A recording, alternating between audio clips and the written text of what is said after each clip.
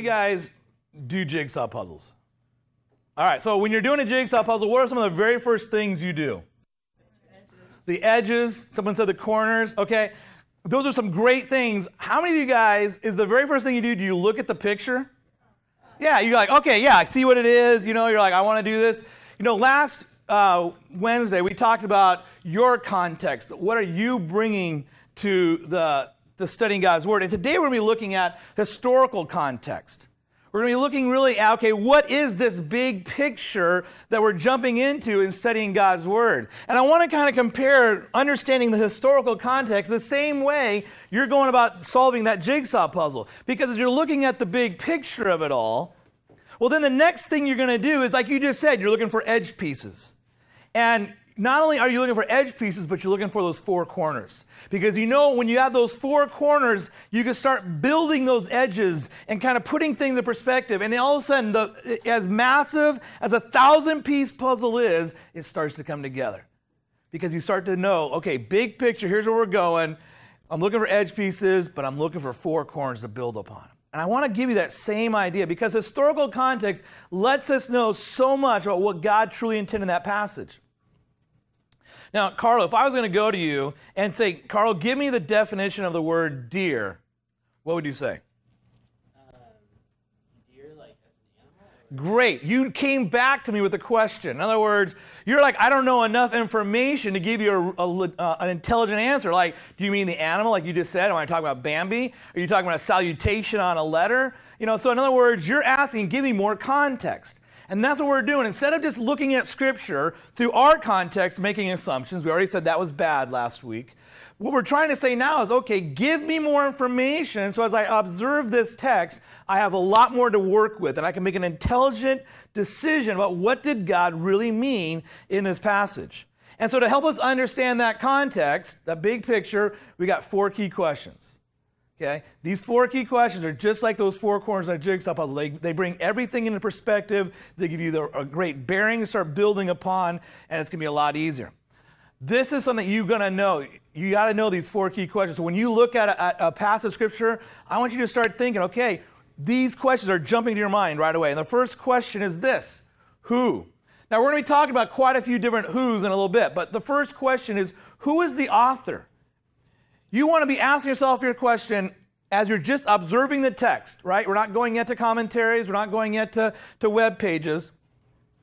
But you want to ask yourself, yourself the question Does this text reveal to me who wrote it?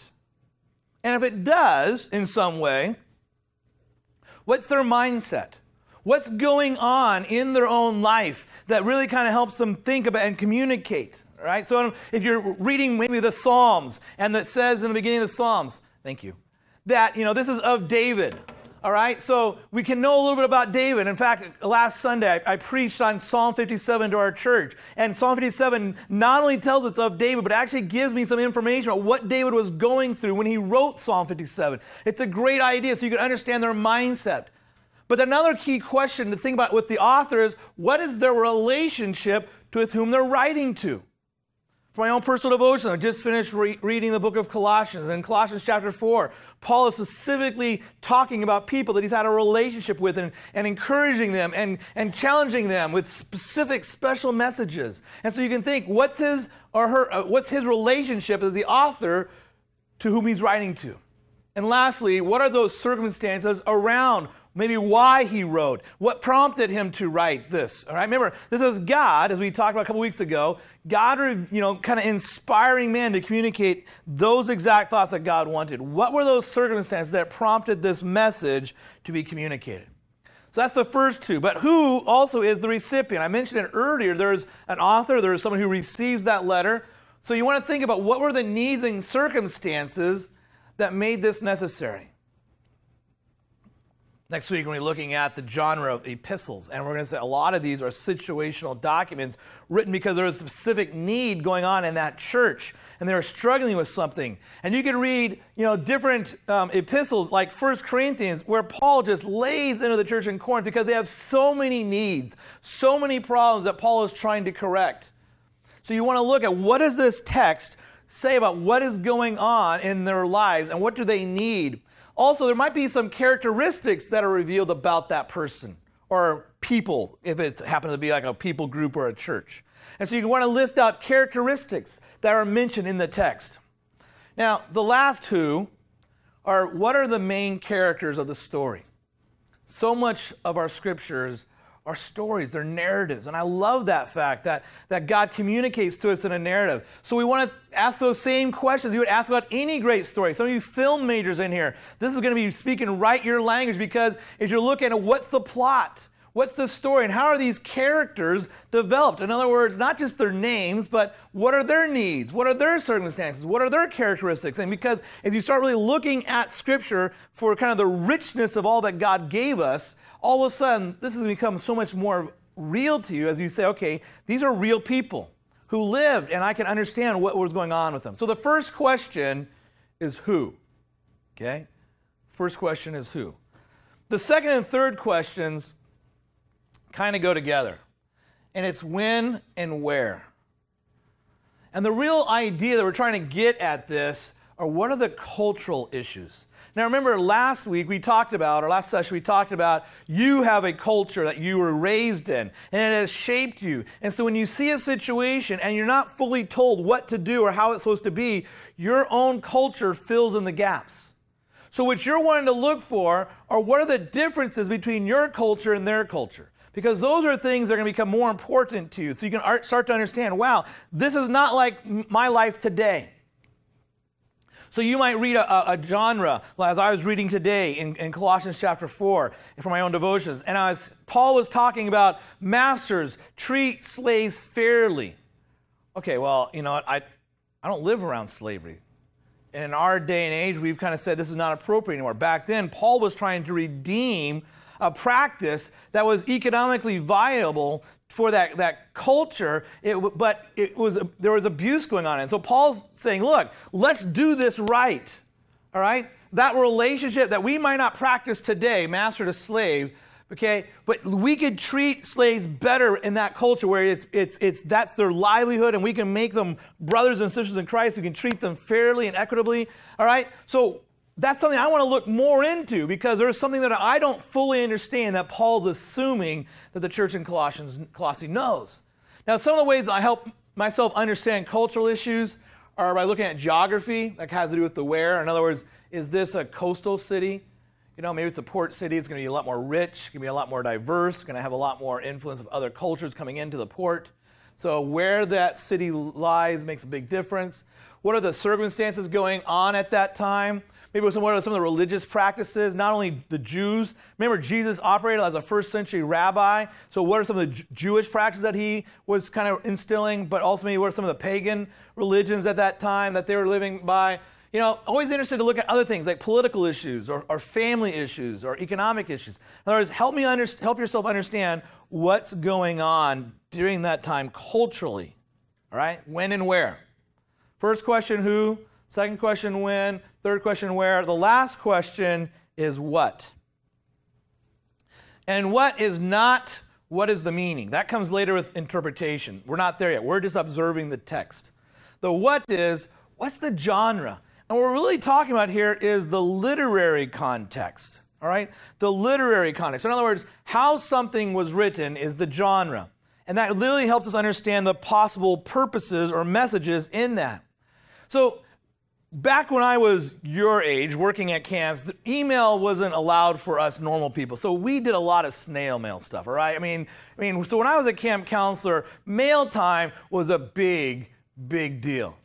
You know, we, we, they announced it at lunch. Everybody was kind of like on their edge of their toes. Did I get a letter? And I had a girlfriend at the time who loved to send me lots of mail, and she would always like put hearts on the outside or, or spray perfume on the letter. And so you could tell this was like a special letter. This was not mom and dad writing from home, like, how's camp? How's the food? This was like someone who I cared deep about who was communicating sweet nothings to me. And that letter I read a whole lot different. I mean, I read that letter over and over and over again because that was my only contact we didn't really have access to phones because of where the camp was. And so for me, that snail mail was everything. Well, today with texting, today with email, I mean, it's, it's you know, you can communicate so fast, but so often our communications get messed up because something is misinterpreted. In other words, you know, if we're trying to communicate something important over texting, so many times you can misread something because it, it, the genre is, isn't conducive to that. And so, really, what we're looking at here is there are different genres throughout Scripture. So, we're looking for the, this to give us clues. Now, um, I have a handout for you that, and I'll post this also on, on Blackboard. But here's a list of different genres that you need to kind of know, all right? So this will be something that you're going to need to reproduce, like on that midpoint celebration of learning that we like to call a, a midterm. So make sure you don't lose this and you memorize this. We'll practice with this in a little bit, but this helps us say, okay, what are some of the clues about this genre? I don't know if I counted really well, so if we have extras, pass them over here to the right, please. Now, there's some problems when we misunderstand genre. In other words, some people, and the book talks about this in uh, chapter, I think it's chapter 8 in the third edition, chapter 7 in the second edition. I know it's kind of hard to think that kind of stuff through. But there are definitely some, some things we need to understand about genre to help us understand something. And one of the, if you have extras, you can just pass them down to the backside. One of the problems that people will look at is that they think all books of the Bible should be read the same. Well, I just kind of alluded to how I wasn't going to read a letter from my girlfriend the same way I was going to read my letter from my parents. Why would we think we can do that with Scripture? In other words, we have to understand God has a purpose for each genre. It was communicated in a specific way, and that helps us understand really how to read that message and to observe what we should observe. And so we need to understand there's some differences there. There's another misconception I think that goes along with, with genre, and that sometimes people today really discount the genres of the Old Testament.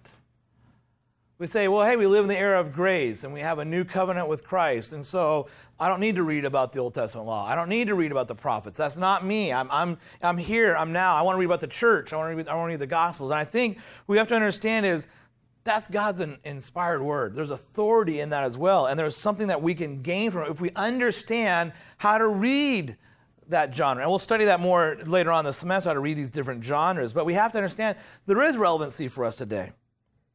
Now, there's, I think sometimes we make the mistake that, well, okay, Dave, if everything is inspired and everything is important, then I'm going to read, you know, just that passage. And we can jump into a lot of problems when we fail to look at the surrounding context.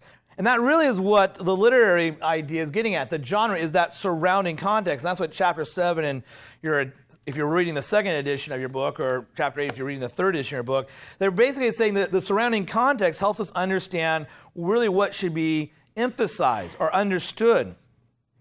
So, for example, it, the, the book kind of gets into this a little bit, and it says when writing or thinking about this, you, you need to kind of think big picture. And that's kind of what we're oh, in your lab number two, you're going to do. You're going to try to take a look at a whole book, okay? And here's a small epistle, and you're going to answer these four key questions the who, the when, the where. And you're going to, for the what question, you're going to summarize the paragraphs because that surrounding verses helps us understand the big picture. There's some famous verses that I think sometimes we jump into with it just being that one verse. Um, for example, Revelations 3:20 says, "Here I am. I stand at the door and knock. If anyone hears my voice and opens the door, I will come in and eat with him, and he with me." It's a great verse. How many of you guys have heard that verse shared at like an altar call?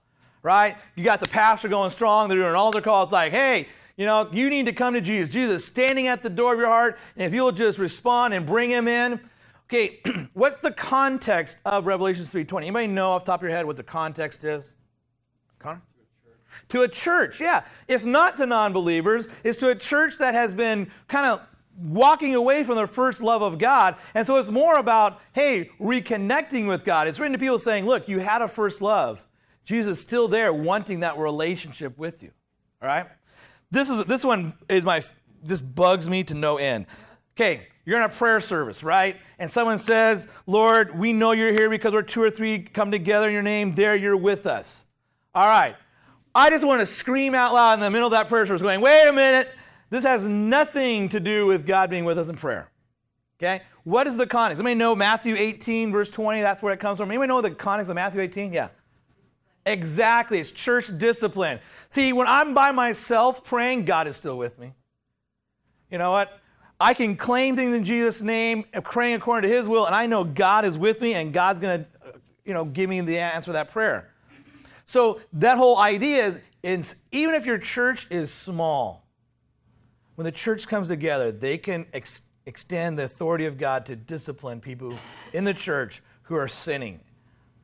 Okay? So my point is this we, we can't just take one verse out of context and say, okay, you know what, we're going to look at that one verse. The surrounding literary context says, here's what this verse is about. And that's why in this lab, number two, you're going to think in paragraph form. Now, here's something I just want to give you a clue on.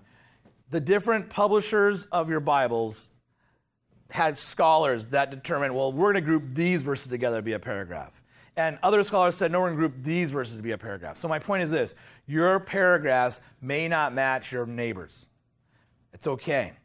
All you're going to do is in 12 words or less, you're going to summarize the key thought in that paragraph. So that way you're starting to look at the genre as a whole, as sections, not as just individual verses. The one key thing you're going to need to do with all of your assignments is you always want to give me the reference. So you're going to be doing uh, this lab on 1 Timothy, I believe. And so you want to go through in 1 Timothy 1, let's say 1 through 3 is the first paragraph. And you're going to give me that paragraph summary. It's a sentence, 12 words or less that you're going to write about what is this paragraph all about. And you're going to give me the reference. And then you're going to go down to the next paragraph that you find. Let's just say it's 4 through 6. I don't know. And you're going to give me another paragraph summary sentence, 12 words or less, okay? This is the last part of lab number two. The first part is answering the who, the when, the where, okay, for 1 Timothy. You're just staying in the text. You're not going to a commentary. You're not going to your study notes. If you have a fat study Bible, you're just staying in the text, okay? That's lab number two.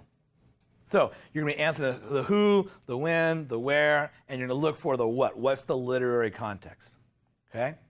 So I want to practice this. We got a few minutes left before class ends. I want you to go to Luke chapter 1. Okay, you all have your Bibles. I know you do because you don't want to bring donuts to class. Luke chapter 1. And we're just looking, just in our Bibles, at those first four verses. Those first four verses. And I want you to answer our four key questions Who is the author? Who is the recipients? Who's any other main characters in there? When and where did this take place? What can we tell? And then what is a genre? Now, there might not be an answer for some of these things because the scriptures don't tell us, and that's okay to say we don't know this. It's also okay to use your brain to say, you know what, we know, if this is what was stated, then we know this also to be true. Okay, so in other words, you're not checking your brain out the door and just regurgitating the exact words. You're going to kind of say, all right, if we know this to be true, then he probably was like this as well. Okay? So let's practice this with Luke chapter 1, 1 through 4. We'll do this for a few minutes and then uh, we're going to come back and we'll talk about it, all right? So let's try real briefly to answer this. I know we got about five minutes left of class. So, who do we know is the author? Okay, real quick, we want, we're going to assume that the author is Luke. The only reason I say we assume is because it's actually the title is Luke, the Gospel of Luke. As we know from other Gnostic writings, people can put a title on anything. So, in other words, it's unlike the epistles where it says, like, I, Paul, here we just have Luke in the title. So, just, we're going to assume it's Luke, and I think it's very, um, because one, remember one of the the tests we put for the canon is do you know who the author is? Well, they had to understand we know who the author is. So the title being the Gospel of Luke, it's the title. So we, we just want to be careful on that. But what do we want, to, what do we know about Luke from this passage? Sorry, what? From this passage. Yeah, what do we know from, about Luke from this passage? Okay, he knows the story, but how does he know the story? That's, that's one of the, that's an important thing because he, he wasn't one of the original disciples that we know, but he still knows the story. How did he know the story? How did he find out about the story? Excellent. He researched. Yeah. And I think that's crucial because it gives us some, some assurance that, wow, this guy, he went about this. It was a logical account. He's looking into this. That's awesome. Excellent. Excellent. Okay. So we know that he is able to do research. He's smart. He's orderly. That's what I mean. Like you don't check your brain at the door because he's able to. He researched this story. We're to start thinking, what do I know about Luke? I, I can start putting these things together. What's another thing we might want to know about this author and where he got the story? Who did he talk to getting the story? Eyewitnesses. Yeah. So in other words, he researched and talked to eyewitnesses. Now you can say, well, isn't that another main character? Maybe not because we don't know their names, don't know much about them. We just know that Luke did research with people who saw Jesus do the miracles, who saw the resurrection, who saw these things, who heard these things. In other words, what he has written down for us comes from firsthand events. This is not like, hey, I heard from so and from so and from someone. Okay? It's not the telephone game. All right, what do we know about the recipient? All right, recipient is a guy named Theophilus. Okay, for those of you who are taking Greek, what does that name mean? Thank you. Yes, you have two words here. Um, you have the word theo, which means God, and then you have um, the, the last half of his word, um, philos, which basically means friend of or lover of. So we kind of know that this is a guy has a Greek name, okay? And uh, that's what I mean. You don't have to check your brain out the door. You know the name, you can kind of dive into it. What else do we know about Theophilus?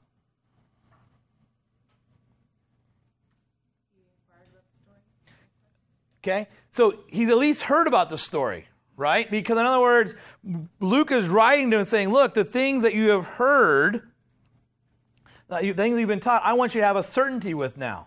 Okay? So he, he might be, you know, he has heard this story before to some degree. What's one more thing we know about um, Theophilus? Go ahead, Bess. Excellent. Yeah, he calls him honorable, right? So that might just be, this is where we have a question mark for something later on with interpretation. He might have a position of authority. Okay? He might be someone that, okay, wow, okay, this is someone who is honorable. It might have like some kind of a position of authority. That's why, you know, Luke is writing to him and, and saying, look, you're an important figure. I want to recognize that. That's a possibility because of that word honorable. Okay? Excellent. What do we know about the when and the where?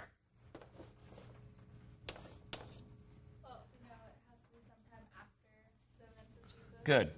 It's after the events have taken place.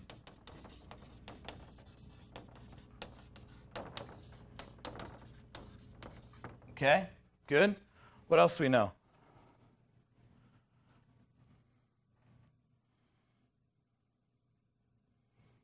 Is there a, there's a one word in here that gives us a little bit of a clue about that culture. Good. Oh, I was Okay, go ahead. gonna say um, it had to occur shortly after the events. Okay. Because there are still eyewitnesses around. Good. So we're, we're going to add on a time frame. Excellent. Luke uses the word servants of the word. In other words, it refers back to a culture of where slavery was, was predominant. In other words, when Luke is using that word, it has a unique meaning in that culture when they have slaves, all servants all around them. I don't have servants. I have interns, yes, but I can't treat them like a slave or a servant. Now, those of you who are interning may have a different view of that. Okay? So that's some of the things we can look at. Let's jump real quick to what's the genre? Gospel. Okay. Why? Why do we know it's, it's a gospel?